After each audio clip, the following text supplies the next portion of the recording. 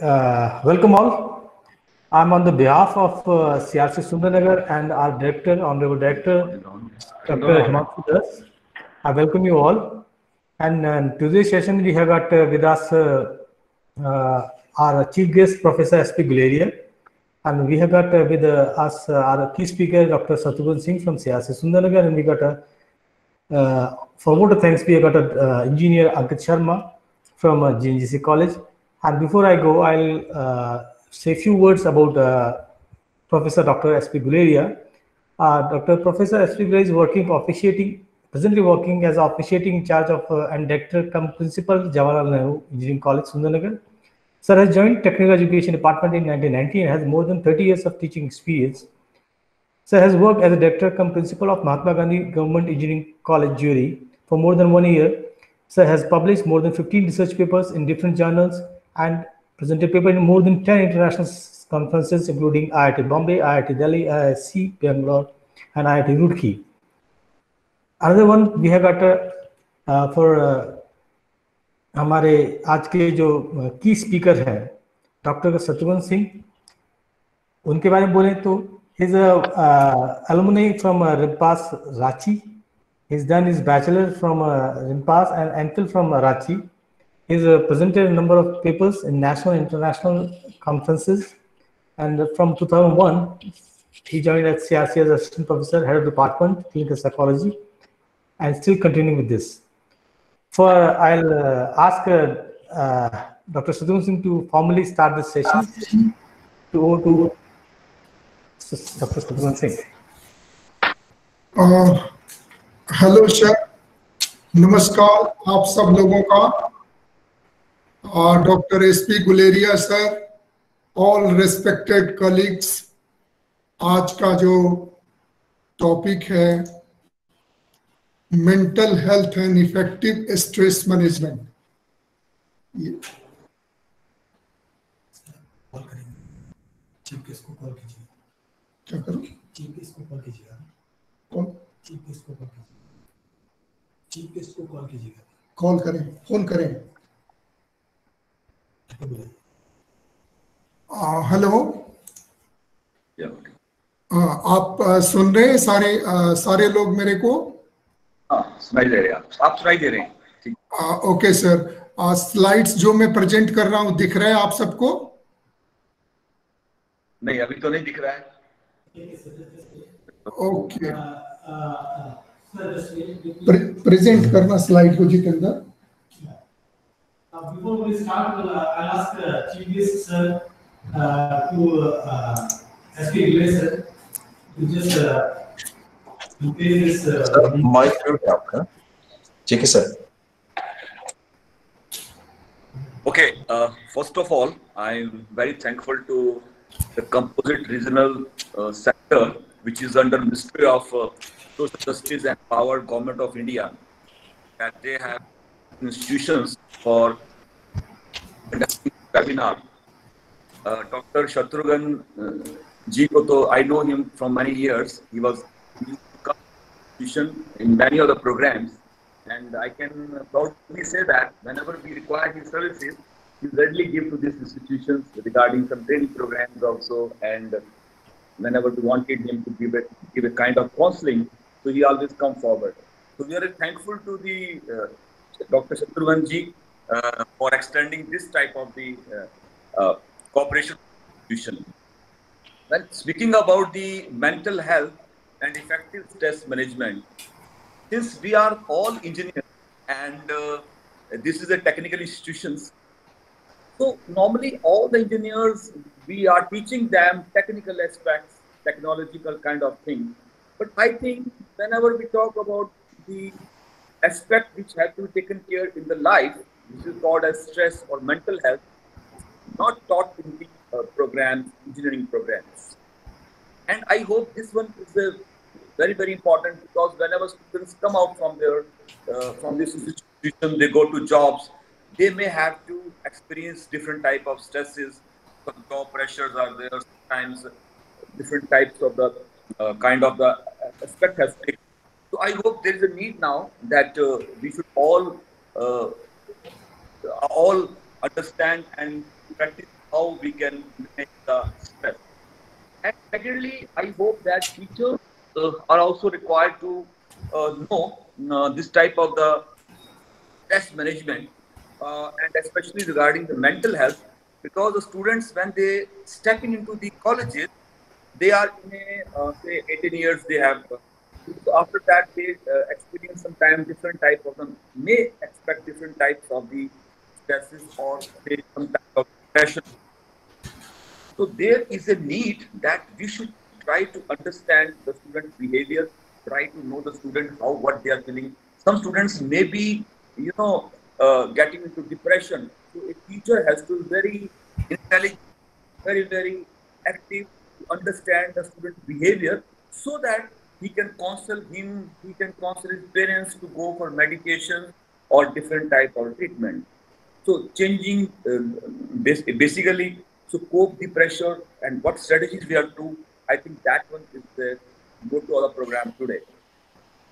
So even though the teachers nowadays, as we know, we all are passing through a, a stage, the pandemic kind of situation, and it has been observed that many of the persons they are staying in the home for many years, so they are not having some time. So this stress management becomes a very very important, and I some kind of techniques like I think uh, our Dr. Shatrughan ji uh, will tell you more about this thing, how we can go for meditation, how healthy lifestyle is going to help us how to cope the pressure of the job pressures and how to adopt the changes and socially connecting with other ones so that we can uh, we can we not does does go for such type of the depression it's very very common mental illness is that type of the illness which is not taken care i think right now.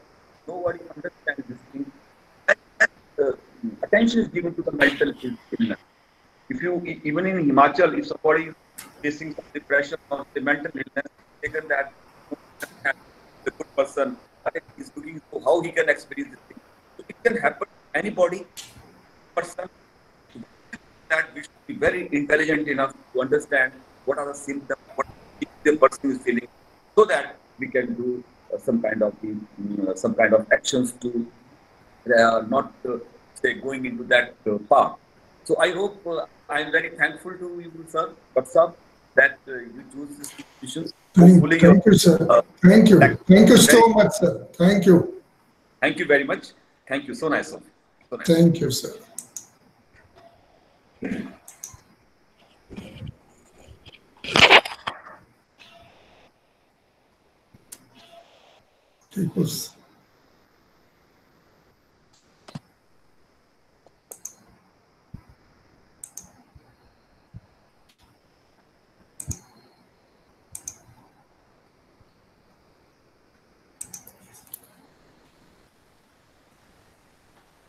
Uh, hello, sir. Hello, everyone.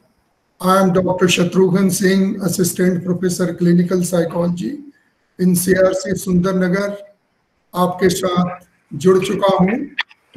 और आज का जो topic है mental health and effective stress management तो इसके बारे में हम आज चर्चा करेंगे।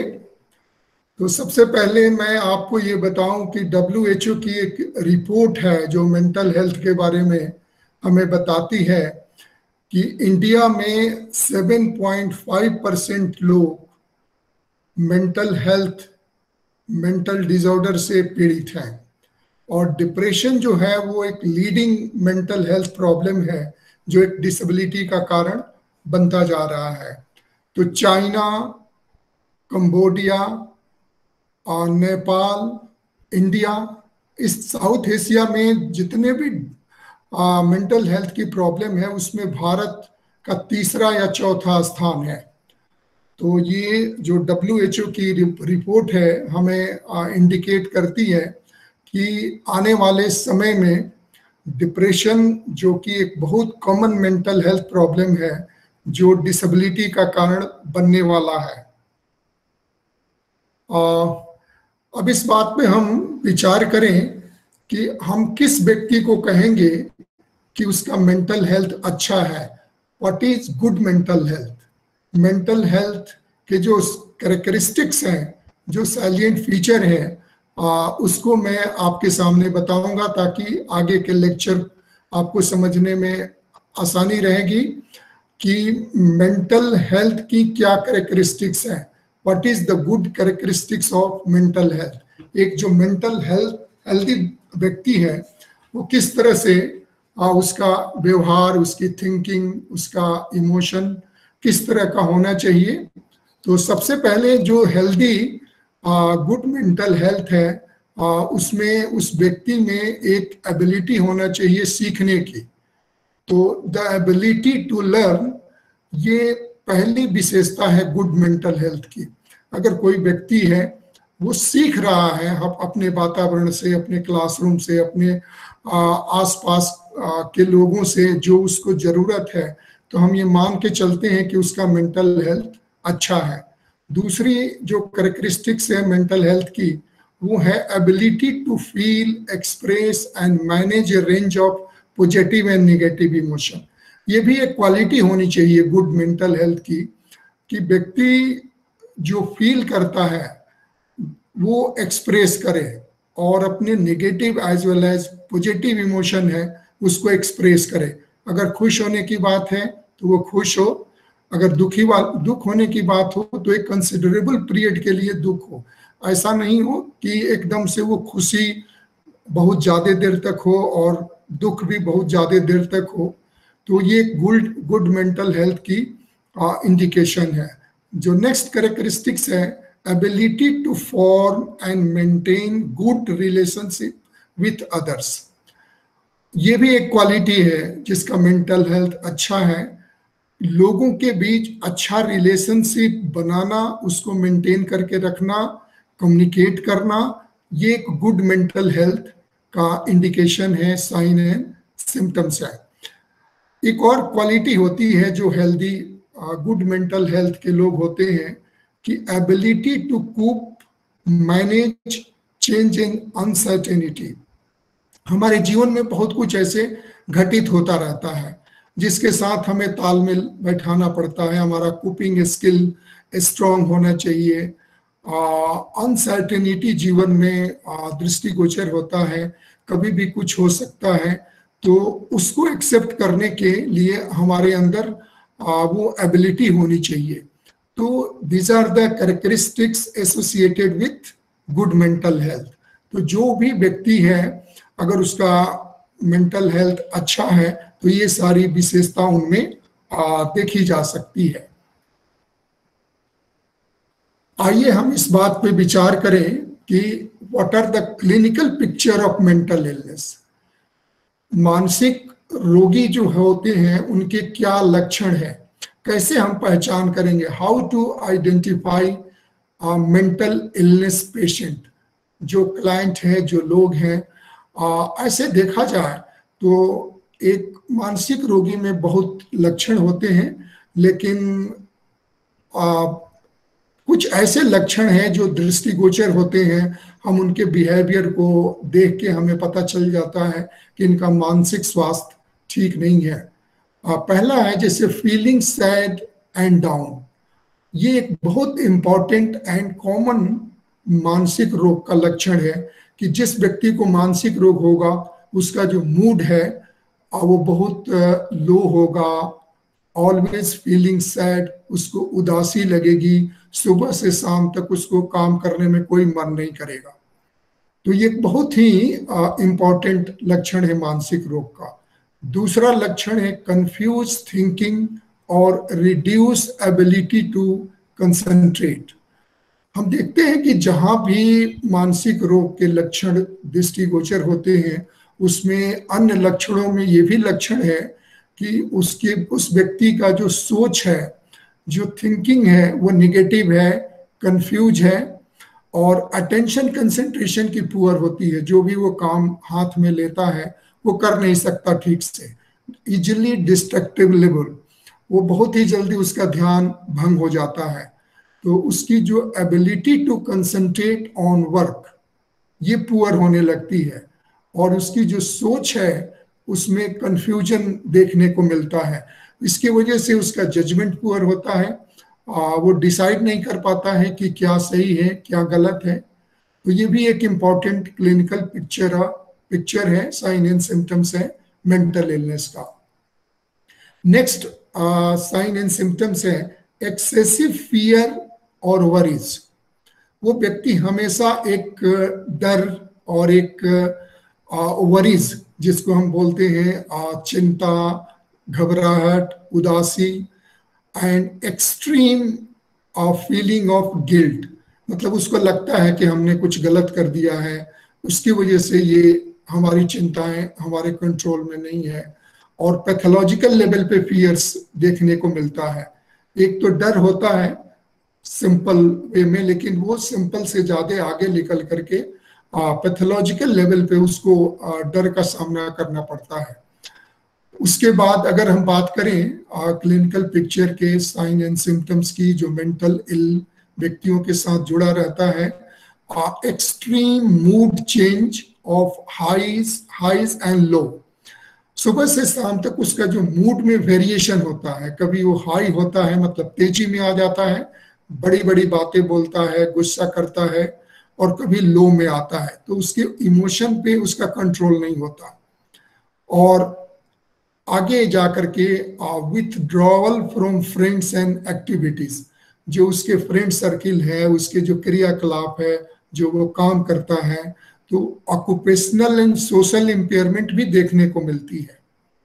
तो ये भी एक इंपॉर्टेंट साइन एंड सिम्टम्स है। आगे हम बात करें सिग्निफिकेंट लो एनर्जी वो कंप्लेन करता है कि अब मैं थक गया हूँ, मेरे काम करने की इच्छा नहीं है, मेरे शरीर में जान नहीं है, मेरे को स्लीपिंग में प्रॉब्लम आ रही है। और आगे ये जैसे जैसे बढ़ेगा तो उसमें डिल्यूजन एंड हेलुसिनेशन डेवलप हो जाएँगे। डिल्यूजन का मतलब है फॉल्स बिलीव वो शक करेगा कि लोग मेरे बारे में बात कर रहे हैं, पुलिस वाले घूम रहे हैं, मेरे को पकड़ के ले जाएँगे।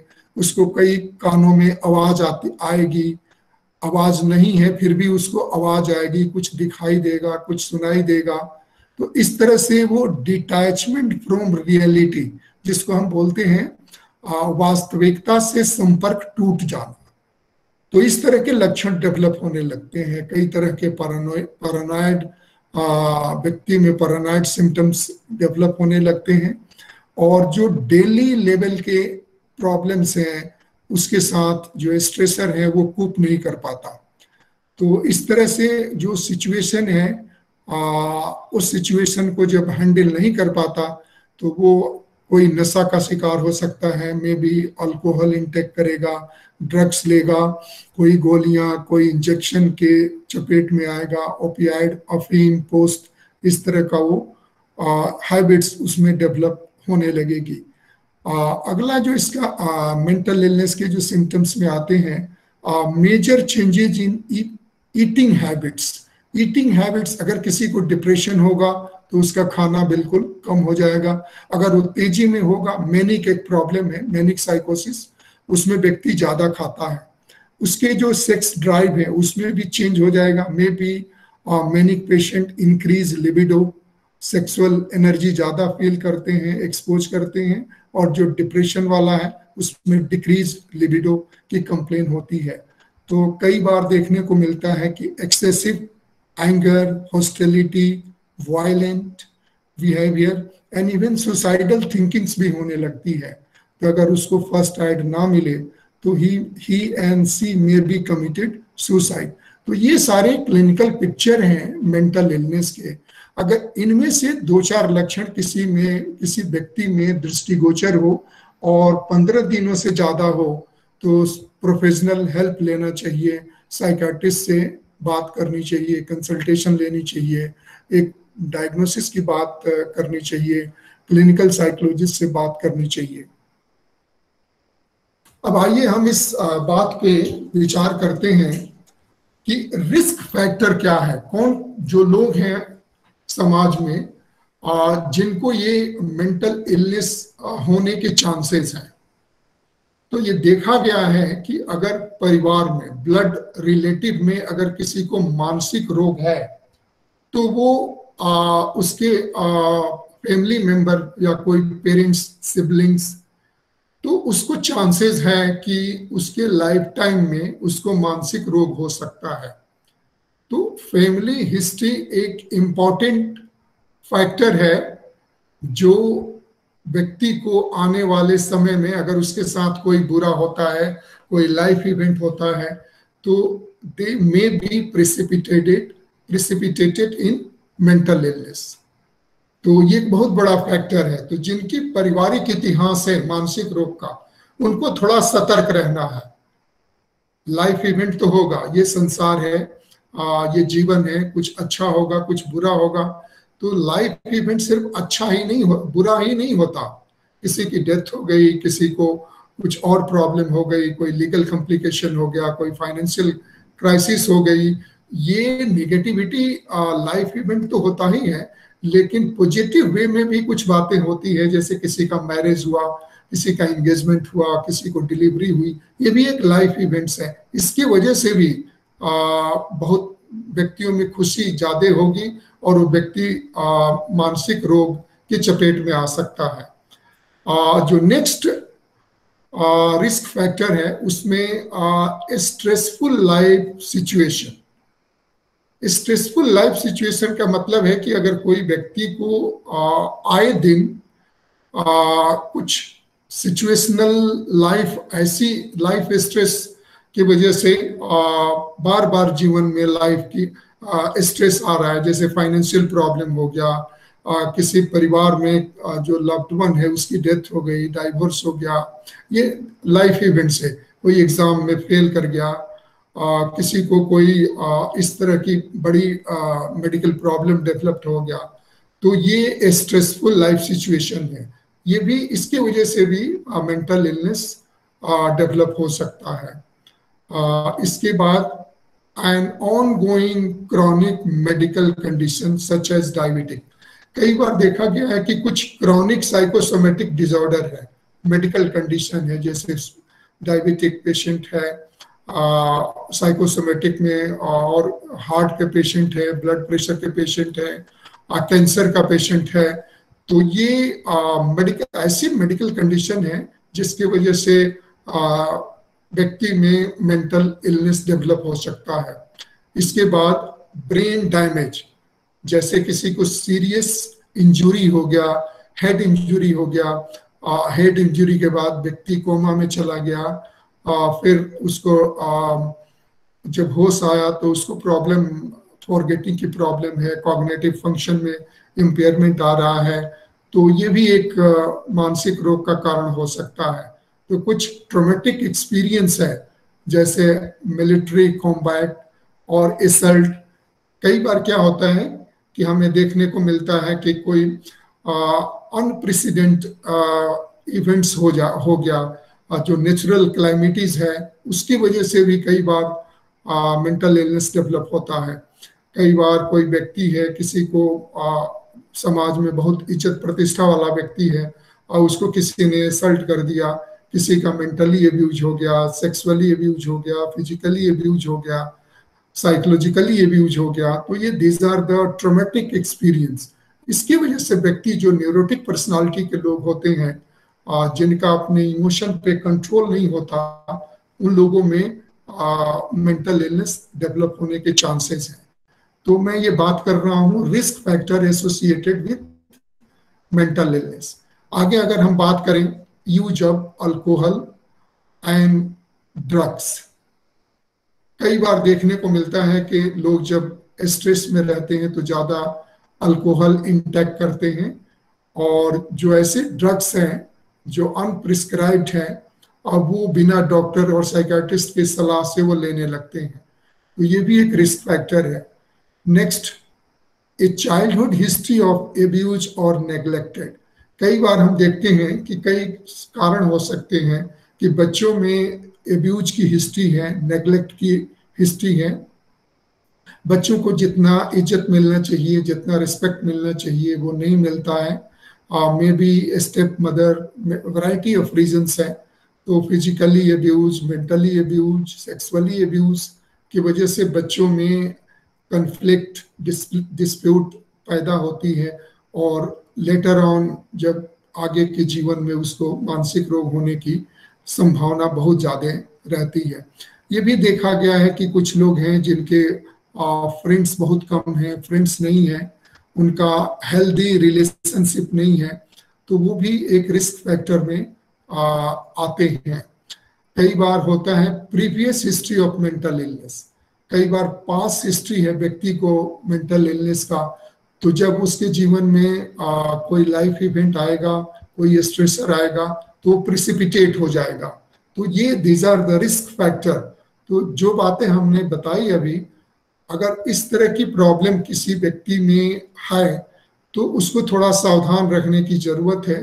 ये कोई ज़रूरी नहीं है कि दो रिस्क फैक्टर होने से कोई व्यक्ति में मेंटल इलनेस प्रेसिपिटेट हो जाए, लेकिन थोड़ा एहतियात के तौर पे प्रिकॉशनरी मेजर हम ध्यान रखें तो मेजर मेंटल इलनेस डेवलप होने के पहले हम उसका इलाज कर देंगे, वो प्रिवेंट हो जाएगा।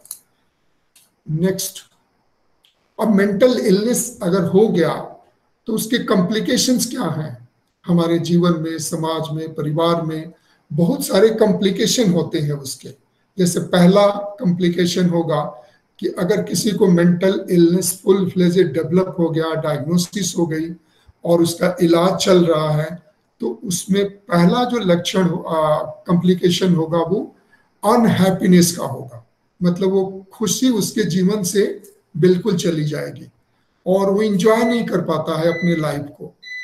तो जो भी सिचुएशन है जो उसको लाइफ में जितना क्वालिटी ऑफ़ लाइफ और उसकी खराब हो जाएगी और फैमिली में कन्फ्लिक्ट्स होगा। कन्फ्लिक्ट्स का मतलब है clashes of ideas between family members तो ये फैमिली मेंबर्स में जो कन्फ्लिक्ट्स है, ये भी एक मेजर कॉम्प्लिकेशन हम देखने को मिलता है जो मेंटल मानसिक रोगी लोग हैं। दूसरा कॉम्प्लिकेशन है कि रिलेशनशिप में डिफिकल्टी होगी। जो पारिवारिक रिलेशन है, सामाजिक रिलेशन है कम्युनिटी में लोगों के साथ उठना, बैठना है, कोई मानसिक रोग व्यक्ति अपने रिलेशन को इंटैक्ट नहीं कर पाएगा। तो वो क्या होगा? धीरे धीरे जाकर के उसका सोशल आइसोलेशन होगा। जैसे सोशल आइसोलेशन होगा तो वो कॉम्प्लिकेशन आगे बढ़ेगा। वो घर से नहीं निकलेगा, लोगों से बात नहीं करेगा। फिर वो टोबैको का सहारा लेगा अल्कोहल का सहारा लेगा अदर ड्रग्स के चक्कर में पड़ेगा। तो फिर वो एक कॉम्प्लिकेशन होगा। वो मेंटल इलनेस के साथ चलता रहता है। फिर वो स्कूल से ड्रॉप आउट हो जाएगा। अगर वो ऑफ़िस का काम करता है तो ऑफ़िस से भी ड्रॉप आउट हो सकता है। और आगे जाकर के कई फाइनेंशियल प्रॉब्लम होगी उसके साथ लीगल कॉम्प्लिकेशन होगा। आ, हो सकता है कि प्रॉपर्टी जो है उसका नाश हो। होमलेसनेस जो आ, घर परिवार समाज में जितना उसका मन लगना चाहिए वो नहीं लगे वो अपने आप को क्षति पहुँचा सकता है। दूसरों को भी क्षति पहुँचा सकता है। वो सुसाइड भी कर सकता है होमोसाइड भी कर सकता है। तो इस तरह की जो प्रॉब्लम्स है वो कॉम्प्लिकेशंस है। Full fledged mental illness develop होने के बाद देखा गया है कि ये लाइफ स्टाइल में और सारी ज़िंदगी ये कॉम्प्लिकेशंस रहती है। जैसे एक सीजोफ्रेनिया मानसिक रोग है, गंभीर मानसिक रोग है मैनिक डिप्रेसिव साइकोसिस गंभीर मानसिक रोग है बायोपोलर अफेक्टिव डिजॉर्डर जिसको बोलते हैं। इनमें ये प्रॉब्लम्स देखने को मिलती है। तो ये कॉम्प्लिकेशंस हैं इसको कोई रोक नहीं सकता। जैसे किसी व्यक्ति में मेंटल इलनेस डेवलप होगा तो ये कॉम्प्लिकेशन उसके साथ जुड़ेंगे। और ये कॉम्प्लिकेशंस जब तक मानसिक रोग ठीक नहीं हो जाता आ, ये चलते रहेंगे। अब आइए हम इस बात पे विचार करते हैं कि किसी व्यक्ति को मानसिक रोग क्यों होता है। समाज में जितने लोग हैं, परिवार में जितने लोग हैं, सबको मानसिक रोग नहीं होता। किसी पर्टिकुलर एक ही व्यक्ति को होता है या दो व्यक्ति को होता है। तो वो कौन कौन से कारण है? What are the factor which may be responsible for etiological factor associated with mental illness तो कारण क्या है? पहला कारण ये देखा गया है बहुत रिसर्च स्टडीज़ के बाद कि मेंटल इलनेस के होने में ब्लड रिलेटिव्स मतलब फैमिली हिस्ट्री ये इनहेरिट करता है। ये डीएनए ट्रांसफ़र होता है one person to another person अगर परिवार में किसी को मेंटल इलनेस है तो हो सकता है कि उसको आगे चल करके मेंटल इलनेस होगा। तो इस कहने का मतलब ये है कि ये जीन आ, कुछ आ, ऐसी जीन है डिफेक्टिव जीन्स कह सकते हैं जेनेटिक लोडिंग जिसको कह सकते हैं। जो एक रिस्क फैक्टर है मेंटल इलनेस को ट्रिगर करने में प्रिसिपिटेट करने में तो ये इनहेरिटेड ट्रेड्स के रूप में कॉजेस को हम देखते हैं लोग। दूसरा आ, जो फैक्टर है ब्रेन केमिस्ट्री हमारे ब्रेन में बहुत सारे न्यूरो हैं जिनका ऑटोमेटिक फ़ंक्शन है। जैसे डोपामीन हो गया मॉर्फिन हो गया बहुत सारे ऐसे न्यूरो ट्रांसमीटर हैं जो ऑटोमेटिक फ़ंक्शन है। किसी में बढ़ गया तो वो भी मेंटल इलनेस को प्रिसिपिटेट करेगा। किसी में कम होगा, वो भी मेंटल इलनेस को प्रिसिपिटेट करेगा। तो ये न्यूरोकेमिकल चेंजेज इन ब्रेन ये बहुत बड़ा एक रिस्पॉन्सिबल फैक्टर है मेंटल इलनेस को होने में। अगला फैक्टर है प्री मोर्बिड पर्सनालिटी हमारे समाज में जितने लोग हैं उनकी अलग अलग पर्सनालिटी है। जैसे किसी को न्यूरोटिक पर्सनालिटी है। जो न्यूरोटिक पर्सनालिटी के व्यक्ति होते हैं, जैसे जल्दी घबराने लगना, डरने लग जा, लग जाना छोटी छोटी बातों को लेकर के परेशान हो जाना इमोशनली मेच्योर होना, ये न्यूरोटिक पर्सनालिटी वाले लोग हैं। इस तरह की अगर किसी की पर्सनालिटी ट्रेट्स है डायमेंशन है तो उसको मे बी न्यूरोटिक डिप्रेशन होने की संभावना है। एक हमारा पर्सनालिटी ट्रेट्स ट्रेट्स है एस्क्यूजॉइड एस्क्वाइड एस्क्यूजॉइड पर्सनालिटी में क्या होता है? व्यक्ति अपने आप को परिवार से, समाज से कटअप कर लेता है। और इंट्रोवर्ट होता है रिज़र्व होता है, लोगों से बहुत ज़्यादा मिलता जुलता नहीं है। तो इसको अपने लाइफ टाइम में सीजोफ्रेनिया होने के चांसेस हैं। कुछ ऐसे पर व्यक्ति हैं जिनकी पैरानाइड पर्सनालिटी है।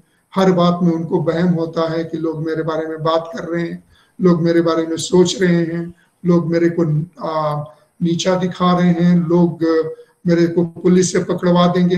एक्चुअल में ऐसा होता नहीं है। These are the false belief ये फॉल्स बिलीव है उसकी वजह से व्यक्ति की प्री मॉर्बिड पर्सनालिटी ही ऐसी है कि वो लाइफ इवेंट्स झेल नहीं पाता है। कुछ ऐसी पर्सनालिटी है जैसे हाइपोमेनिक पर्सनालिटी लोग बहुत ज़्यादा सोशल होते हैं एग्रेसिव होते हैं इम्पल्सिव होते हैं बहुत ज़्यादा खुश रहते हैं। इनको बायोपोलर अफेक्टिव डिसऑर्डर होने के बहुत चांसेस हैं।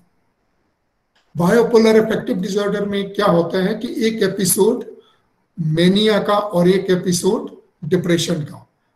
एक एपिसोड को हम छह महीने के अंतर्गत ठीक करते हैं तो परिवार में अगर कोई खुशी और गमी की बात होगी तो दूसरा एपिसोड भी शुरू हो जाएगा।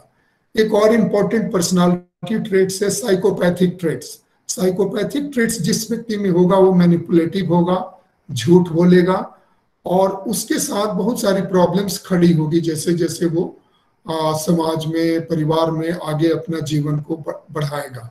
तो कहा जाता है कि प्री मोर्बिड पर्सनालिटी एक इंपॉर्टेंट फैक्टर है आ, जो रिस्पॉन्सिबल होता है मेंटल इलनेस को डेवलप होने में। कुछ हमारे वातावरण से रिलेटेड फैक्टर हैं। जैसे बहुत से ऐसे वातावरण से रिलेटेड स्ट्रेसर हैं जिसमें लोगों को काम करना पड़ता है।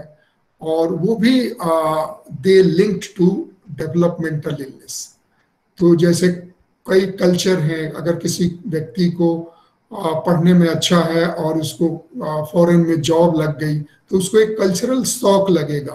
तो वहाँ जा करके अगर उसको एडजस्टमेंट में प्रॉब्लम आएगी तो हो सकता है कि वो, अगर उसकी पर्सनालिटी न्यूरोटिक है तो उसको मेंटल इलनेस हो सकता है। तो मानसिक रोग का कोई एक कारण नहीं है। बहुत सारे कारण हैं। इनहेरिटेड ट्रेट्स है इन्वायरमेंटल फैक्टर है बायोकेमिकल चेंजेज हैं प्री मॉर्बिड पर्सनालिटी है। तो ये आ, कारण है। These are the factor associated with causes of mental illness अब कितने टाइप के मानसिक रोग होते हैं? देखा गया है कि दो तरह के मेजर अगर आप बात करें न्यूरोसिस और साइकोसिस न्यूरोसिस को कहते हैं बहुत सिंपल मानसिक रोग। जैसे किसी को एंजाइटी है ओसीडी है ऑब्सेसिव कंपल्सिव न्यूरोसिस जिसमें बार बार मन में विचार आता है। और वो विचार को वो रोक नहीं सकता। इसको हम लोग बोलते हैं OCD obsessive compulsive neurosis anxiety तो आप जानते ही हैं। ऐसे व्यक्ति बहुत जल्दी तनाव में आना टेंशन में आना, चिंता करने लग जाना। और एक और एंजाइटी से रिलेटेड है पैनिक अटैक पैनिक अटैक इस तरह से होता है कि व्यक्ति को एकदम सडन घबराहट होगी और उसको लगेगा कि मैं गिर जाऊँगा, मैं मर जाऊँगा, मेरे को हार्ट अटैक हो जाएगा। हाई ये न्यूरोसिस कार्डिक न्यूरोसिस भी आप इसको बोल सकते हो। ऐसे लोगों को न्यूरोटिक डिप्रेशन भी हो सकता है। तो बहुत सारे फोबियाज हैं हिस्टेरिया है। ये न्यूरोसिस के अंतर्गत आते हैं। ये हंड्रेड परसेंट इसका इलाज है। अगर प्रॉपर डायग्नोसिस बने प्रॉपर इलाज हो तो ये न्यूरोसिस की कैटेगरी में आते हैं। सिंपल मानसिक रोग इसको बोल सकते हैं। और इसका हंड्रेड परसेंट इलाज है सब्जेक्ट टू कंडीशन की डायग्नोसिस समय से बने। दूसरा जो मेजर टाइप है साइकोसिस साइकोसिस में जो पेशेंट आते हैं एक्यूट साइकोसिस को, अचानक साइकोसिस डेवलप हो गया इरिलीवेंट टॉकिंग व्यक्ति करने लगा, कई डिल्यूजन हेलुसिनेशन डेवलप हो गए। तो ये एक्यूट साइकोसिस है। इस, ये भी इसकी अभी भी प्रोग्नोसिस अच्छी है। ये भी हंड्रेड परसेंट ठीक हो जाता है। पंद्रह दिन में पंद्रह फिफ्टीन डेज़ की हिस्ट्री है और किसी क्वालिफाइड साइकाट्रिस्ट के साथ अगर आप दिखा रहे हैं तो एक्यूट साइकोसिस के जो पेशेंट है वो ठीक हो जाते हैं। उसमें कुछ पेशेंट हैं जो सीजोफ्रेनिया में डेवलप कर जाते हैं, लेकिन ये कोई ज़रूरी नहीं है। ये डिपेंड करता है कि किस तरह का इलाज ट्रीटमेंट मिलता है। तो सीजोफ्रेनिया दूसरे नंबर का बहुत ही खतरनाक और गंभीर मानसिक बीमारी है। और ये ज़्यादा पढ़े लिखे लोगों की बीमारी है। पहले लोग कहते थे कि ये लोअर सोशियो इकोनॉमिक स्टेटस की डिज़ीज़ है, लेकिन इसमें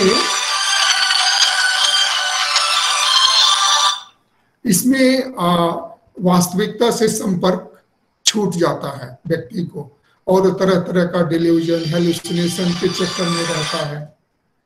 और ये, इसका हंड्रेड परसेंट इलाज नहीं है। इसका कोई हंड्रेड परसेंट इलाज नहीं है। अगर किसी व्यक्ति को सीजोफ्रेनिया हो जाए, ये एडल्ट लोग जो जैसे एडल्सेंट पीरियड में आते हैं उस समय ये डेवलप हो जाता है। तो 70 परसेंट इसका इलाज हो सकता है। बाकी ये हमेशा पूरी जीवन चलता रहता है। ऐसे लोग मेंटल हॉस्पिटल में एडमिट होते हैं और पूरा साइकाट्रिस्ट घर के लोग मिल के इलाज करें, फिर भी ये हंड्रेड परसेंट ठीक नहीं होता। ये बहुत गंभीर और खतरनाक बीमारी है और इससे बचना चाहिए। अगला जो जिसको हम लोग बोलते हैं bipolar affective disorder manic depressive साइकोसिस ये एपिसोडिक है। सिक्स मंथ का एपिसोड है six month depression six month mania ये ठीक होता है तो ठीक होता है, दो साल ठीक रहता है, तीन साल ठीक रहता है, बाद में फिर डेवलप हो सकता है depending upon situation and depending upon nature of disease जो नेक्स्ट है जिसको बोलते हैं organic brain syndrome organic brain syndrome में क्या होता है? ये जैसे किसी को हेड इंजुरी हो गई उसको हम ऑर्गेनिक ब्रेन सिंड्रोम बोलते हैं। कोई ब्रेन में किसी को ट्यूमर हो गया किसी को ब्रेन से रिलेटेड प्रॉब्लम हो गया कोई कई ऐसे मेजर मेडिकल इलनेस है उसकी वजह से ऑर्गेनिक ब्रेन सिंड्रोम होता है। तो ये भी आ, बहुत गंभीर मानसिक रोग है। इसमें न्यूरोफिजिशियन साइकाट्रिस्ट मिलकर इसका इलाज करते हैं। तो ये भी एक अलग से कैटेगरी है जो साइकोसिस के अंतर्गत आता है। नेक्स्ट कैटेगरी है मेजर डिप्रेशन मेजर डिप्रेशन जिसको बायोलॉजिकल डिप्रेशन बोलते हैं और ये इंडोजेनस डिप्रेशन है। आ, इसका ऐसे बीमारी से जो लोग ऐसे डिप्रेशन से जो लोग पीड़ित हैं वो लोग सुसाइड करते हैं। तो ये बहुत ये भी बहुत खतरनाक है। जिसको मेजर डिप्रेशन होगा, उसकी फैमिली हिस्ट्री मेंटल इलनेस की होगी, उसका मूड सुबह शाम चेंज करेगा और सुसाइडल थॉट्स होंगे और वो सुसाइड कर सकता है। तो ये भी साइकोसिस के अंतर्गत आता है मेजर डिप्रेशन साइकोटिक डिप्रेशन उसके बाद आजकल पर्सनालिटी डिजॉर्डर को भी लोग साइकोसिस में मानने लगे हैं, क्योंकि तो बड़ा मुश्किल होता है पर्सनालिटी डिजॉर्डर का इलाज करना। अगर किसी का बहमी व्यक्तित्व है तो उसको सीजोफ्रेनिया हो सकता है। अगर वो एस्केजॉइड है तो उसको पैरानाइड सीजोफ्रेनिया हो सकता है। तो ये भी आजकल बहुत ही गंभीर मानसिक रोग हैं। इसके लिए लोग मेंटल हॉस्पिटल में दाखिल होते हैं। अपना अगर नशा के आ, के चपेट में आते हैं तो इनका अपना डी एडिक्शन करवाते हैं। तो मोटे तौर पे जो मेजर मेंटल हेल्थ की जो प्रॉब्लम है उसको हम दो भागों में बांटते हैं साइकोसिस एंड न्यूरोसिस आइए आगे बढ़ते हैं। आ, ये जो जितने भी मेंटल हेल्थ की प्रॉब्लम है क्या हम इसको ठीक कर सकते हैं? आ, इसको सॉरी प्रिवेंट कर सकते हैं? इसकी रोकथाम हो सकती है? ये बिल्कुल हो सकती है। Being as a clinical psychologist and experience more than 25 years मैं आज ये कहने की स्थिति में हूँ कि ये जो जितने भी मेंटल हेल्थ की प्रॉब्लम है, इसको हम प्रिवेंट कर सकते हैं। इसके लिए हमें क्या करना होगा कि जैसे भी किसी व्यक्ति में वार्निंग साइन एंड सिम्टम्स दिखता है तो इमीडिएट वो साइकेट्रिस्ट का हेल्प लें डॉक्टर से कंसल्ट करें और अपनी प्रॉब्लम को डिस्कस करें प्रोफेशनल हेल्प लें। लेकिन लोग क्या करते हैं कि आज भी देर ये social stigma attach to mental hospital psychiatrist clinical psychologist लोग जाते नहीं है। लोग कहते हैं कि हमें कोई मैं पागल थोड़े हूँ कि मैं डॉक्टर के पास जाऊँ. तो pay attention to warning sign warning sign है, उसमें अगर आप साइकोलॉजिकल फ़र्स्ट एड लेते हो तो हो सकता है कि आपकी जो प्रॉब्लम है, वो समय से पहले ठीक हो जाए। तो अटेंशन देखना पड़ता है, ध्यान रखना पड़ता है। दूसरा to get routine medical care अपने आप को साल में दो बार तो चेकअप करवाना चाहिए थोरो चेकअप करवाना चाहिए मेंटल प्रॉब्लम के लिए मेडिकल प्रॉब्लम के लिए तो इससे बचाव हो जाता है। जो भी प्रॉब्लम है वो ट्रीट हो जाता है। कई बार क्या होता है, मैंने पीछे बताया कि मेजर मेडिकल प्रॉब्लम है, उसकी वजह से मेंटल इलनेस लोगों को हो जाता है। जैसे अगर किसी की न्यूरोटिक पर्सनालिटी है, उसकी वजह से हार्ट की प्रॉब्लम हुआ तो जैसे ही उसने सुना कि मेरे को हार्ट की प्रॉब्लम है तो वो उसको हो सकता है कि वो साइकोसिस जैसा बिहेवियर करने लगेगा। तो अगर हम रूटीन मेडिकल केयर करते हैं चेकअप करवाते हैं प्रोफेशनल हेल्प लेते हैं काउंसलिंग करवाते हैं तो हम बच सकते हैं इस तरह की प्रॉब्लम्स से। To get help when you need कई बार क्या होता है कि हमें प्रॉब्लम है घर वाले कहते हैं कि आपको प्रॉब्लम है लेकिन हम सोचते हैं कि नहीं हमें प्रॉब्लम नहीं है। लोग कहते हैं कि इसका स्वभाव है इसलिए ऐसा करता है। ऐसा नहीं है। तो हमें जब ज़रूरत है हेल्प लेनी चाहिए प्रोफेशनल हेल्प लेनी चाहिए और मेंटल हेल्थ की जो कंडीशन है आ, उसको ट्रीट करवाना चाहिए। आ, ऐसा नहीं सोचना है कि full fledged sign and symptoms develop होगा और जो प्रॉब्लम्स होगी उसको हम इलाज तभी करेंगे जब हमें डिलीजन और हेलुसिनेशन डेवलप हो जाएगा।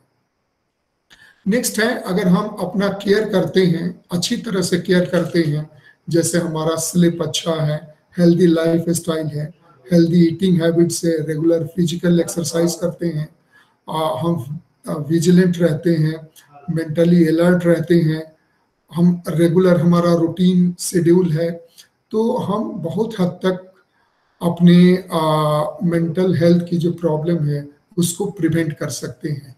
तो ये कुछ प्रिवेंशन के तौर पे कुछ प्रिवेंटिव मेजर्स हैं, जिसको हम लाइफ में अगर एडॉप्ट करें तो हम आने वाले समय में मेजर मेंटल हेल्थ की जो प्रॉब्लम है, उससे हम बच सकते हैं। Now come to management part अगर मान लीजिए कि किसी को मेंटल हेल्थ हो गया तो उसको क्या करना चाहिए? कैसे मैनेज होगा? कहाँ मैनेज होगा? कौन लोग इलाज करेंगे? तो मैनेजमेंट में सबसे पहली बात आती है कि प्रॉपर डायग्नोसिस की। प्रॉपर डायग्नोसिस सिर्फ़ और सिर्फ़ साइकाट्रिस्ट कर सकता है। फिजिशियन लोग जितने केसेस देखते हैं, उसमें thirty percent cases mental health की प्रॉब्लम फिजिशियन देखते हैं। लेकिन वो अगर रियल में उसको मेंटल हेल्थ की प्रॉब्लम होगी तो वो ठीक नहीं होगा। उसको साइकाट्रिस्ट के पास जाना ही पड़ेगा। तो क्यों ना हम पहले ही जाएँ प्रॉपर डायग्नोसिस करवाएँ। और आजकल जो वर्ल्ड में डायग्नोस्टिक क्राइटेरिया दिया गया है डी एस एम फिफ्थ आजकल आ गया है। फिफ्थ का मतलब है फिफ्थ एडिशन आ गया है डायग्नोस्टिक स्टेटिस्टिकल मैनुअल इससे डायग्नोसिस बनती है मेंटल इलनेस की मेंटल हेल्थ प्रॉब्लम की। ये अमेरिका में ज़्यादा लागू होता है, हमारे यहाँ I C D eleven I C D eleven भी आ गया है eleventh edition international classification of disease ये डब्ल्यू एच ओ ने बनाया है।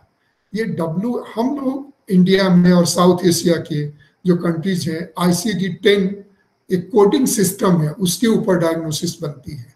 तो जो लोग प्रॉपर पढ़े लिखे लोग हैं साइकाट्रिस्ट के ट्रीटमेंट में आते हैं तो ये ज़रूरी है मैनेजमेंट का एक इंपॉर्टेंट पार्ट है कि प्रॉपर डायग्नोसिस हो डिफरेंशियल डायग्नोसिस हो प्रोग्नोसिस उसकी देखी जाए। उसके बाद मेडिकेशन मेडिकेशन जो साइकोसिस मैंने बता रहा था साइकोसिस प्रॉब्लम साइकोटिक प्रॉब्लम वो बिना दवाई का ठीक नहीं होगा।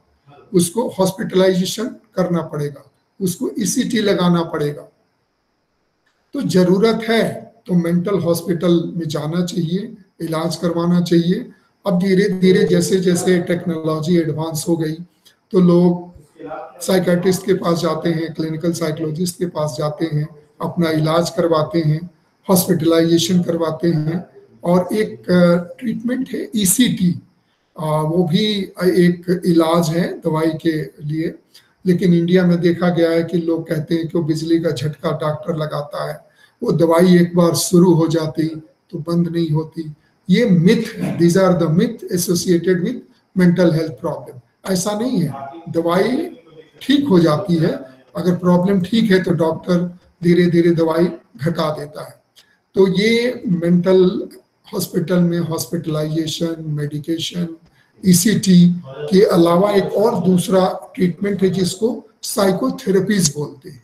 साइकोथेरेपीज का मतलब है काउंसलिंग टॉकिंग क्योर साइकोथेरेपी बातों बातों में मन का इलाज। तो ये भी एक ट्रीटमेंट का मोड है कॉग्नेटिव बिहेवियर थेरेपी तो कई जो न्यूरोसिस में ये ज़्यादा इसका रोल है, लेकिन कई बार क्या होता है कि अगर डायग्नोसिस बन गई और साइकोपैथोलॉजी मेडिसिन से ठीक हो गई तो व्यक्ति को काउंसलिंग और साइकोथेरेपी करवा के मेंटल हेल्थ का जो नेक्स्ट रिलैप्स है, दूसरा रिलैप्स ना हो जीवन में तो ये साइकोथेरेपी करवाना चाहिए ताकि वो दोबारा प्रिसिपिटेट ना हो। ये देखा गया है कि एक बार मेंटल इलनेस हो गया तो रिकरेंट भी होता रहता है। ऐसा नहीं है कि एक बार मेंटल इलनेस हो गया तो दोबारा नहीं होगा। तो जो दवाई लेगा, एक मेंटेनेंस डोज पे रहेगा साइकोथेरेपी करवाएगा काउंसलिंग करवाएगा तो वो हो सकता है कि वो उसको रिकरेंट ना हो प्रॉब्लम तो ये मैनेजमेंट है मेंटल हेल्थ प्रॉब्लम की। आइए हम इस बात पे विचार करते हैं कि मेंटल हेल्थ सर्विस जो सर्विसेज़ है, हिमाचल प्रदेश में कहाँ कहाँ और कैसे उपलब्ध है? मेंटल हेल्थ की जो सर्विसेज़ हैं आप सबको विदित होगा कि मेंटल हेल्थ केयर एक्ट लागू हो गया है 2017 में। पूरे ऑल ओवर इंडिया में, जो 1987 में मेंटल हेल्थ एक्ट था, उसको रिप्लेस हो गया है वो। और ये जो नया कानून बन गया है, जो ऑल ओवर इंडिया में लागू है, जिसका नाम है मेंटल हेल्थ केयर एक्ट 2017 उसी के एक्ट के तहत हिमाचल में under section 4556 of mental health care act Himachal Pradesh state mental health और authority has been constituted and operational in all over Himachal Pradesh आपको विदित होगा कि जो नया एक्ट है उसी के तहत हिमाचल प्रदेश में मेंटल हेल्थ अथॉरिटी का गठन किया गया है और पूरे हिमाचल प्रदेश में ये ऑपरेशनल है। आ, मैं मेंटल हेल्थ अथॉरिटी का मेंबर भी हूँ। हेल्थ सेक्रेटरी इसके प्रेसिडेंट हैं। और ये एक अथॉरिटी है जो किसी व्यक्ति को किसी साइकाटिस्ट को, किसी क्लिनिकल साइकोलॉजिस्ट को, किसी साइकाटिक सोशल वर्कर को लाइसेंस देती है प्रैक्टिस करने की। हिमाचल में जितने भी नर्सिंग होम हैं, इसी मेंटल हेल्थ अथॉरिटी ने लाइसेंस दिया हुआ है। जितने प्राइवेट प्रैक्टिस लोग करते हैं, जितने भी प्राइवेट मेंटल हॉस्पिटल हैं गवर्नमेंट के मेंटल हॉस्पिटल हैं और वो मेंटल हेल्थ अथॉरिटी से लाइसेंस लिए हैं। आपको विदित होगी कि पूरे स्टेट लेवल में आ, जो इंदिरा गांधी एक मेंटल हॉस्पिटल है बालूगंज में शिमला में जिसमें इंडोर 62 बेडेड का इंडोर है। आ, वो फुल फ्लेजेड मेंटल हॉस्पिटल है हिमाचल इंडोर पेशेंट के लिए। जो इंदिरा गांधी मेडिकल कॉलेज है आ, वहाँ 30 बेड है। इंडोर पेशेंट की मैं बात कर रहा हूँ ओपीडी तो है ही। लेकिन 62 बेड है मेंटल हॉस्पिटल जो शिमला में है हिमाचल गवर्नमेंट का और इंदिरा गांधी मेडिकल कॉलेज में अलग से साइकाट्री डिपार्टमेंट है। वहाँ पे थर्टी बेड है और ten bedded Tanda medical college में इंडोर है। तो अभी तक हिमाचल में गवर्नमेंट सेक्टर में आ, जो 62 बेड है मेंटल हॉस्पिटल में 30 बेड है इंदिरा गांधी मेडिकल कॉलेज में एंड टेन बेड है इंडोर पेशेंट के लिए टांडा मेडिकल कॉलेज में। आपको विदित होना चाहिए, जो चार मेडिकल कॉलेज है, उसमें साइकाट्री ओपीडी शुरू हो गई है, लेकिन वो, वहाँ इंडोर नहीं होता। जैसे नेर चौक में है, नाहन में है, हमीरपुर में है, चंबा में है, यहाँ साइकाट्रिक मेडिकल कॉलेज में साइकाट्रिक ओपीडी है, लेकिन इंडोर फैसिलिटीज़ नहीं है। आपको पता होना चाहिए कि हिमाचल प्रदेश में कौन कौन सी मेंटल हेल्थ की सर्विसेज़ उपलब्ध है? कि अगर हमारे घर, परिवार, समाज में किसी को प्रॉब्लम है, किसी को एडमिट करवाना है तो हम किसको पूछें? आपको विदित हो कि 62 de addiction centre Himachal Pradesh में ऑपरेशनल है। ये प्राइवेट सेटअप में भी है गवर्नमेंट सेटअप में भी है। और प्राइवेट साइकेट्रिक हॉस्पिटल भी है, जैसे सोलन में है, शिमला में है, सिरमौर में है, धर्मशाला में है। तो ये प्राइवेट और गवर्नमेंट सेटअप में सर्विसेज़ हैं मेंटल हेल्थ की सर्विसेज़ जिसका कोई भी व्यक्ति इसका लाभ उठा सकता है। नाउ इम्पोर्टेंट जो हमारा दूसरा पड़ाव है मेंटल हेल्थ प्रॉब्लम का, उसको हम बोलते हैं इफ़ेक्टिव स्ट्रेस मैनेजमेंट। अगर हम अपने स्ट्रेस को प्रभावकारी ढंग से मैनेज करें तो हो सकता है कि मेंटल हेल्थ की जो प्रॉब्लम है, वो हमारे जीवन में ना घटित हो। तो आजकल हर व्यक्ति स्ट्रेस से पीड़ित है। स्ट्रेस क्या है? एक part and parcel of the life है। बॉडी का टीयर एंड वियर्स है। अगर कोई ये व्यक्ति कहे कि हमें स्ट्रेस नहीं है तो सबसे बड़ा झूठ बोलता है। तो स्ट्रेस आजकल हर व्यक्ति को है। अब स्ट्रेस से अगर आपको कुप करने के लिए कुपिंग स्किल स्ट्रांग है इमोशनली आप स्ट्रांग है, आपका एडजस्टमेंट लेवल बेटर है तो आपको प्रॉब्लम नहीं होगी।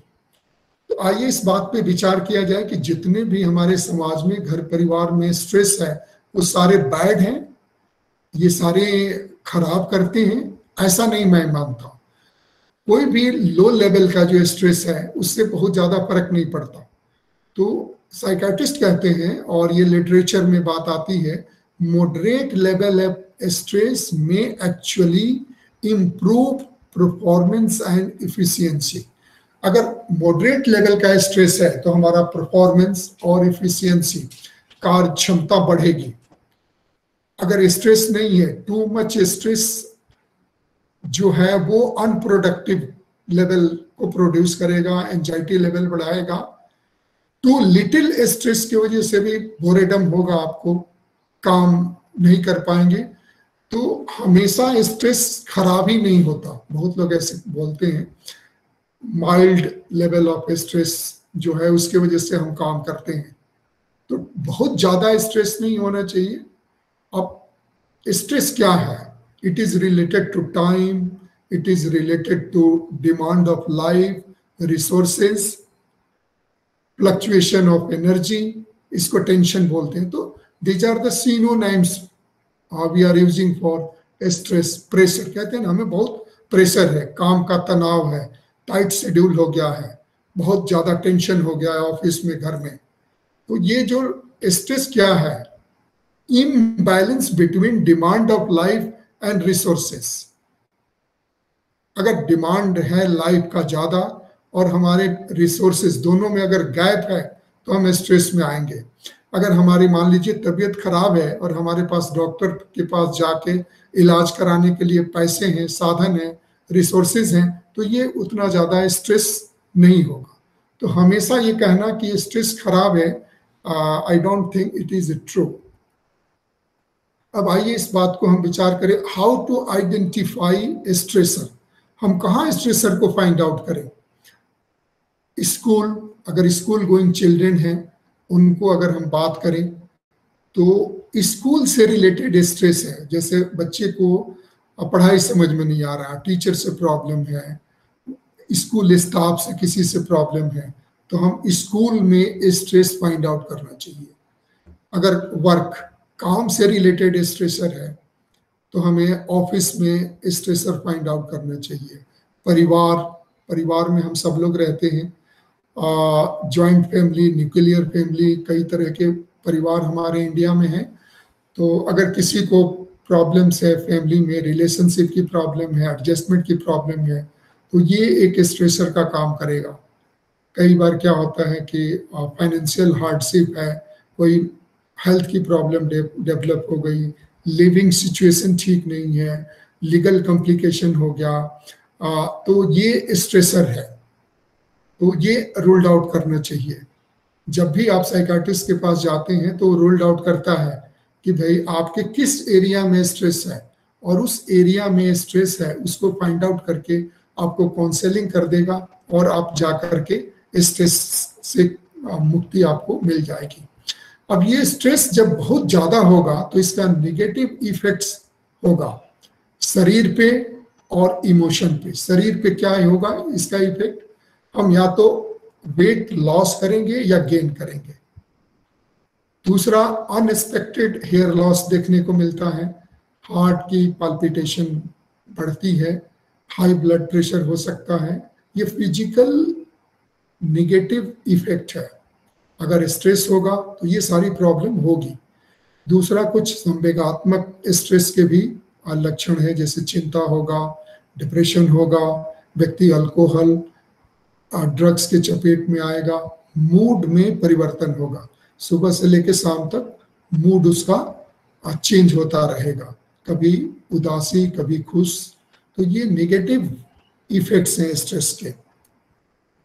अब कुछ शॉर्ट टर्म के लिए फ़िज़िकल सिम्टम्स होते हैं स्ट्रेस के लिए, जैसे लोग कंप्लेन करते हैं कि मुँह सूख रहा है, बहुत ज़्यादा पसीना आ रहा है, जो जल्दी जल्दी सांस लेते हैं मसल टेंस है नौसिया लोग कंप्लेन करते हैं, बार बार desire to urinate butterfly in stomach faster heart rate rapid breathing cool skin जैसे शरीर ठंडा पड़ गया ये शॉर्ट टर्म फ़िज़िकल स्ट्रेस के लक्षण है। और कुछ लॉन्ग टर्म भी स्ट्रेस के लग, फ़िज़िकल लक्षण है जैसे क्रॉनिक स्ट्रेस होगा तो इंसोमेनिया हो जाएगा नींद आने की प्रॉब्लम हो जाएगी बॉडी पेन होगा बॉडी एक होगा एपेटाइट की प्रॉब्लम होगी फ्रिक्वेंट कोल्ड होगा feeling intense tiredness and prone to illness और ये अल्टीमेटली कोई बीमारी में चपेट करेगा। तो ये लॉन्ग टर्म फ़िज़िकल स्ट्रेस के लक्षण है। और उसके बाद कुछ बिहेवियरल स्ट्रेस रिलेटेड सिम्टम्स है। बिहेवियरल स्ट्रेस रिलेटेड सिंपल मतलब कोई भी व्यक्ति प्रोफेशनल्स या लोग देख के आपको बता सकते हैं कि आपको स्ट्रेस है। जैसे जिस व्यक्ति को स्ट्रेस होगा, वो बहुत फास्ट बोलेगा लाउड बोलेगा, हमेशा नेल बाइटिंग करेगा, दांत grinding grinding of teeth emotionally unstable होगा, गुस्सा ज़्यादा आएगा होस्टाइल हो जाएगा क्रिटिकल हो जाएगा एग्रेसिव इम्पल्सिव होगा, हो जाएगा डिफेंस का ज़्यादा यूज़ करेगा। तो ये बिहेवियरल स्ट्रेस रिलेटेड सिम्टम इसलिए बोलते हैं कि objective on the basis of objective observation हम ये देख सकते हैं किस व्यक्ति के व्यवहार में चेंजेज हो रहा। दूसरा व्यक्ति देख के बता सकता है कि इसको स्ट्रेस है। अब इसका नेगेटिव अफेक्ट भी पड़ता है परफॉर्मेंस पे। अब परफॉर्मेंस जैसे जो व्यक्ति स्ट्रेस में रहेगा, उसकी एक्सीडेंट प्रोनेस पर्सनालिटी डेवलप हो जाएगी। मतलब वो गाड़ी चला रहा है, लेकिन वो बार बार एक्सीडेंट करेगा। फॉरगेटिंग भूल जाएगा वो। तो एक फॉरगेटिंग भी स्ट्रेस का एक कारण है। निगेटिव परफॉर्मेंस होगा। जजमेंट जजमेंट करने में डिसीज़न लेने में उसको दिक्कत आएगी। आ, फिर बहुत ज़्यादा गलतियाँ करेगा अपसेंट माइंडेड दिखेगा जहाँ वो काम करता है वो बार बार छुट्टी लेगा अपसेंट होगा और निगेटिविटी उसमें ज़्यादा आएगी। तो ये निगेटिव अफेक्ट है जो हमारे काम को प्रभावित करता है। अगर स्ट्रेस क्रॉनिक है और स्ट्रेस इंटेंस है, ज़्यादा है तो।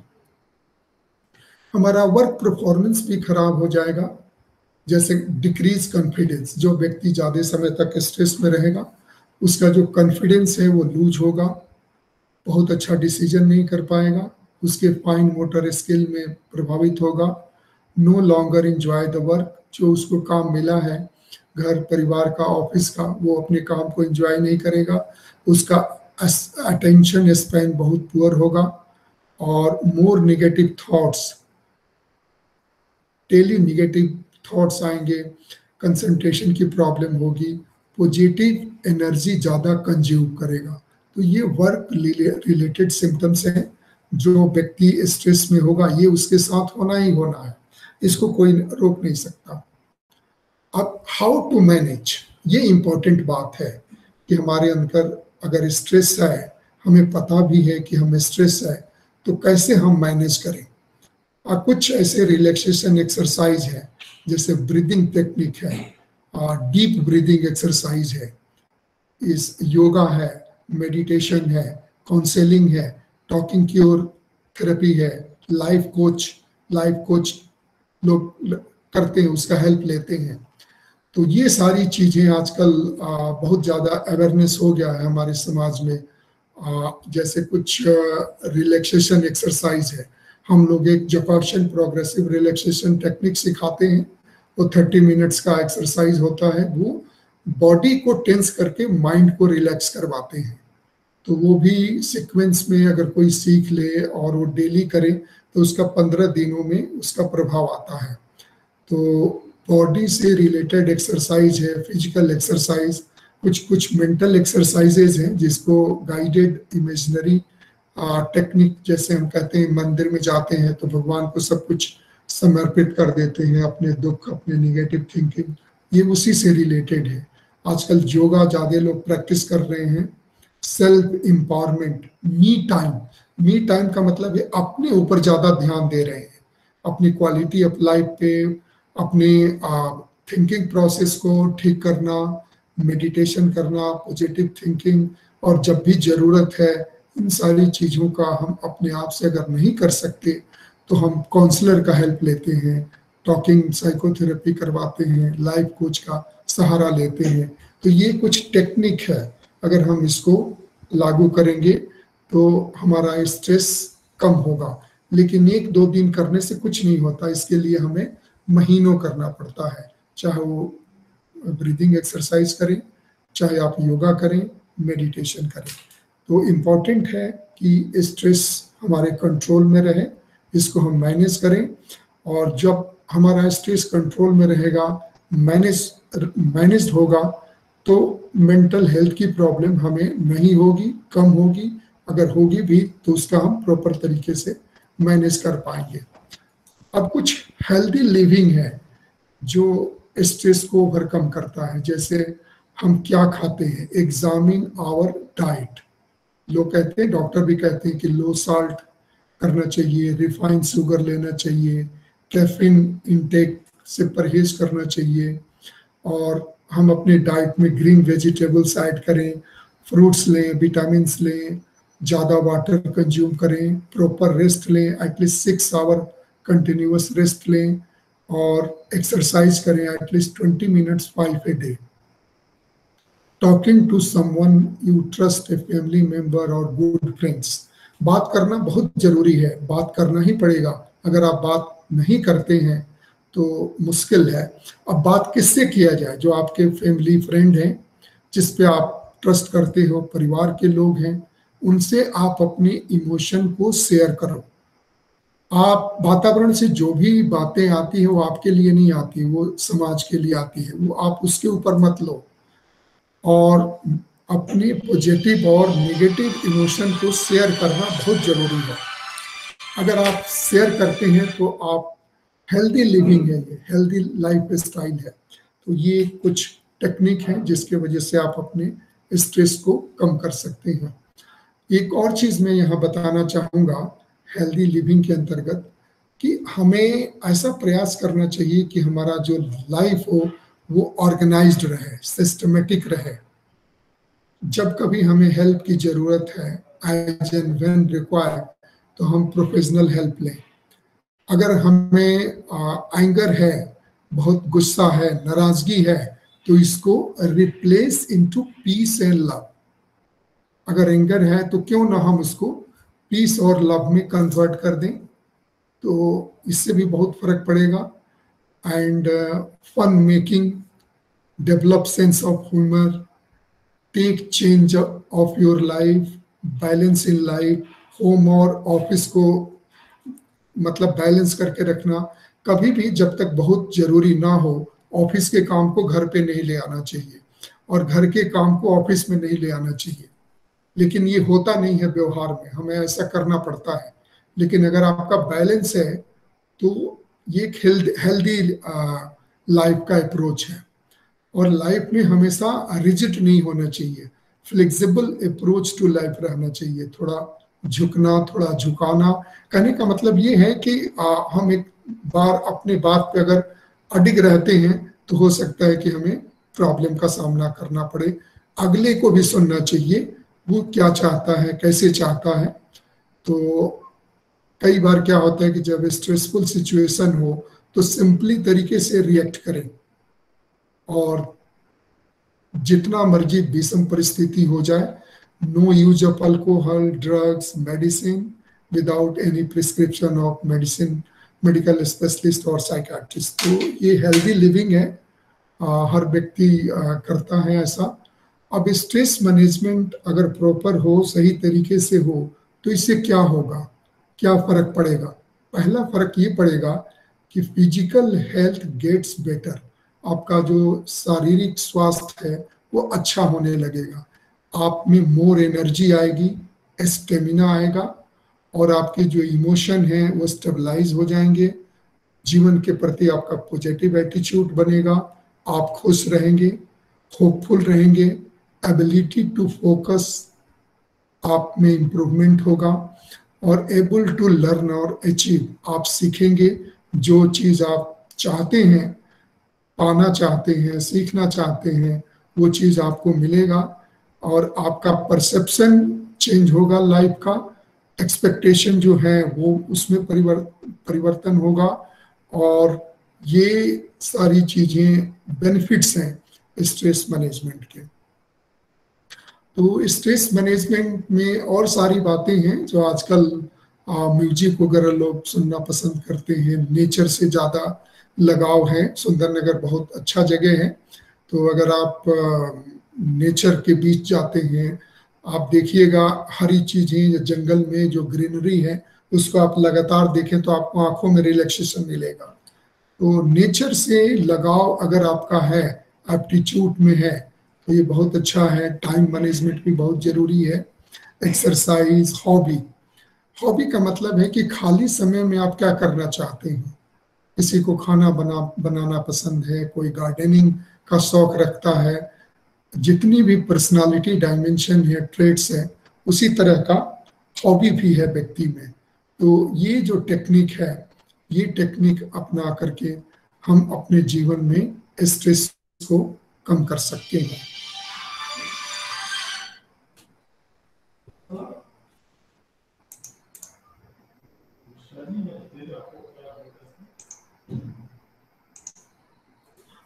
हेलो सर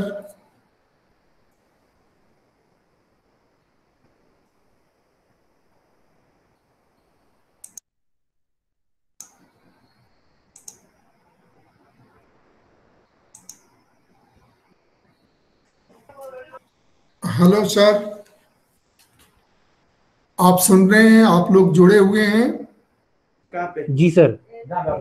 हाँ तो अगर जितने ऑडियंस हैं now topic is open for discussion अगर किसी के मन में कोई सवाल है जो मैंने प्रेजेंट किया तो we can discuss now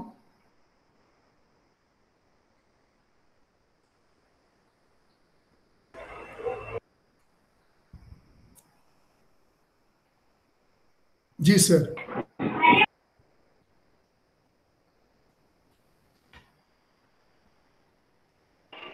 hello प्रणाम सर हाँ प्रणाम प्रणाम। सर जैसे अभी आपने बताया एक स्ट्रेस मैनेजमेंट में योगा।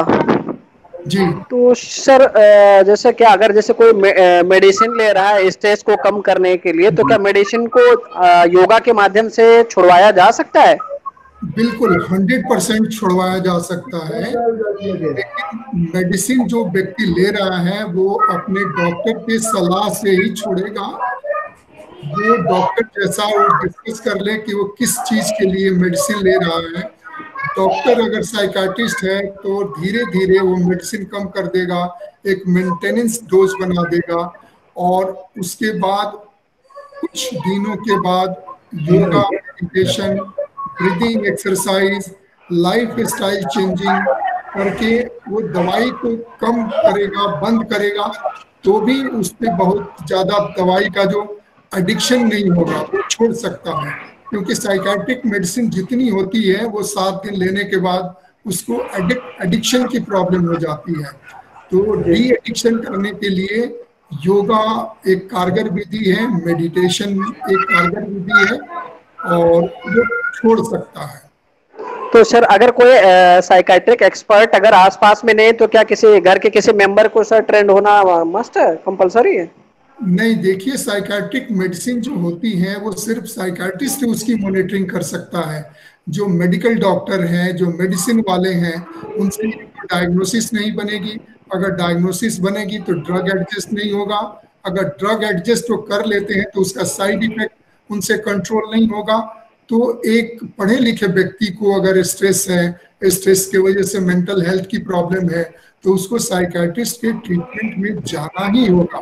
और साथ में अगर उसकी साइकोपैथोलॉजी कम हो जाती है तो फिर वो क्लिनिकल साइकोलॉजिस्ट से भी अपना काउंसलिंग करवाए साइकोथेरेपी करवाए। तब तो जा करके उसका टोटल मैनेजमेंट होगा टोटल रिहेबिलिटेशन जी जी। Thank you sir okay anybody else ji good evening sir good evening sir ये जो स्ट्रेस मैनेजमेंट की टेक्निक्स आपने बताई हैं सर ये सारी टेक्निक्स व्यक्ति विशेष के अनुसार अप्लाई होंगी या सबके लिए समान रूप से अप्लाई कर सकते हैं सर? नहीं सबके लिए समान रूप से नहीं होगी। योगा और मेडिटेशन किसी जो योगा थेरेपिस्ट उसके गाइडेंस के साथ करना चाहिए। ये अपने आप से नहीं करना चाहिए।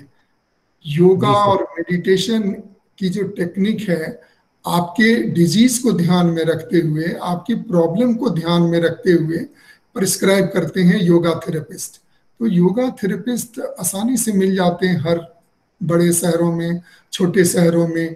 तो आपका नेचर ऑफ़ प्रॉब्लम क्या है? किस चीज़ के लिए आप योगा करने स्ट्रेस के लिए करेंगे एंजाइटी के लिए करेंगे न्यूरोटिक डिप्रेशन के लिए करेंगे साइकोसोमेटिक डिसऑर्डर के लिए करेंगे। तो ये सारी चीज़ें एक मेडिकल फिजिशियन और जो योगा थेरेपिस्ट है, उनसे डिस्कस करके करनी चाहिए। अब किसी को हाई ब्लड प्रेशर है और वो योगा करने लग जाए तो वो ठीक नहीं है। उसके लिए योगा तो वो करेगा, लेकिन उसके लिए कौन सा योगा करे, कौन सा मेडिटेशन करे तो वो ज़्यादा कारगर होगा दोनों से। जो मेडिकल डॉक्टर है, जो ब्लड प्रेशर को ट्रीट कर रहा है, और जो योगा थेरेपिस्ट हैं, जो कि उसके ब्लड प्रेशर को ध्यान में रख करके वो अपना टेक्निक को प्रिस्क्राइब कर रहा है। जी सर। सर जैसे बच्चों में आजकल थोड़ा स्ट्रेस की प्रॉब्लम बहुत ज़्यादा रहती है तो उनके लिए हम बच्चों की इंटरेस्ट के अनुसार कुछ एक चीज़ें अप्लाई कर सकते हैं जैसे उनसे आप डीप डीप ब्रीदिंग एक्सरसाइज बहुत अच्छा है। गहरी सांस लेना अपने सांस पे ध्यान देना और कहीं भी यूट्यूब पे इसका आप कोई वीडियो देख लीजिए और उसके हिसाब से करिए अगर कोई बच्चों में एंजाइटी है फियर है न्यूरोटिक टाइप की प्रॉब्लम है न्यूरोसिस है तो डीप ब्रीदिंग एक्सरसाइज बच्चा का मतलब ये है कि कम से कम पंद्रह सोलह साल का बच्चा होना चाहिए। ये छह साल सात साल के बच्चों में कंट्रा इंडिकेटेड है। तो बड़े बच्चे हों तो ज़्यादा उसका रिज़ल्ट है। बिल्कुल सर। सर स्पोर्ट्स को स्ट्रेस के लिए स्ट्रेस मैनेजमेंट के लिए अप्लाई किया जा सकता है sir?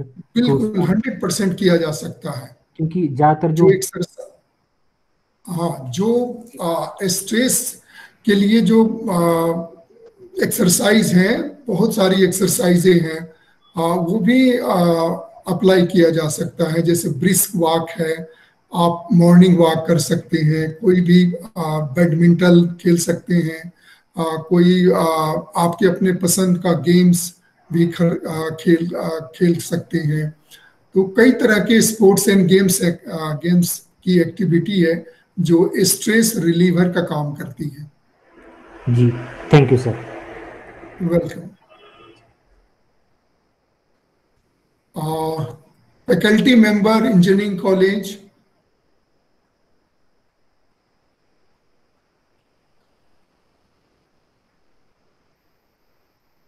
faculty member engineering college अगर किसी को कोई डाउट हो आज के प्रेजेंटेशन में मेंटल हेल्थ की प्रॉब्लम्स मैनेजमेंट मैनेजमेंट आप पूछ सकते हैं।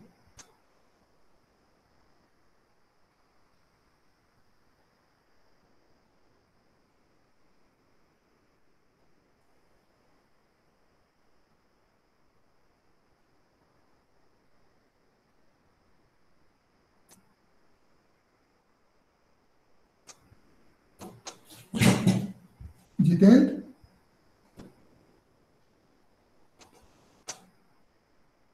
Any question? Now topic is open for discussion.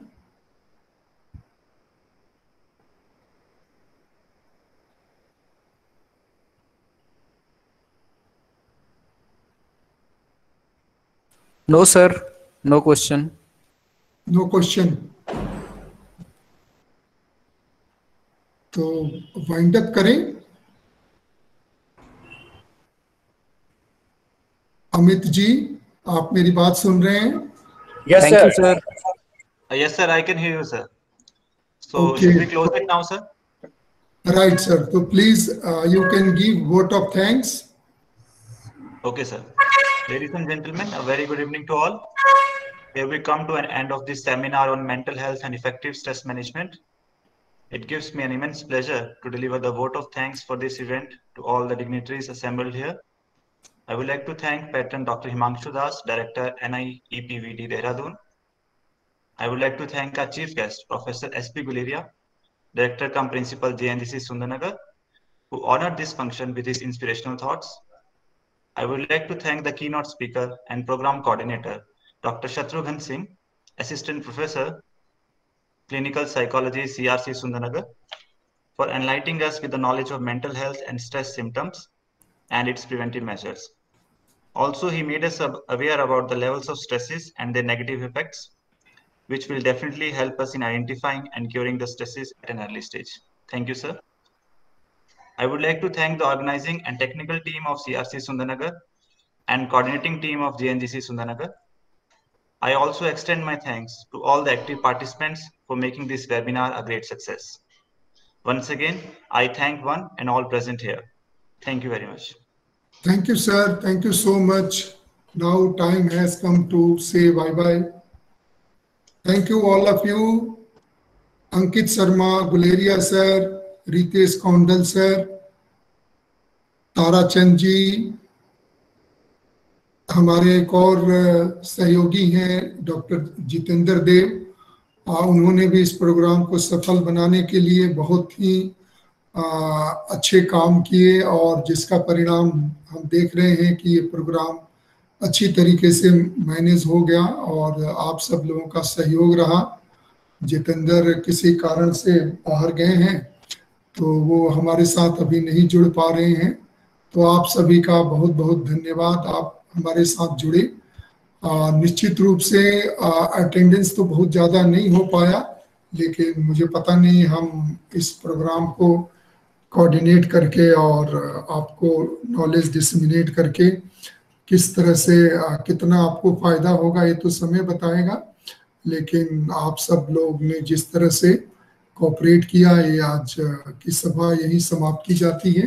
जो गूगल मीट से हम सब लोग जुड़े हैं आप सबका बहुत बहुत धन्यवाद। Thank you so much sir नमस्कार सर नमस्कार। Thank you sir thank you thank you sir thank you sir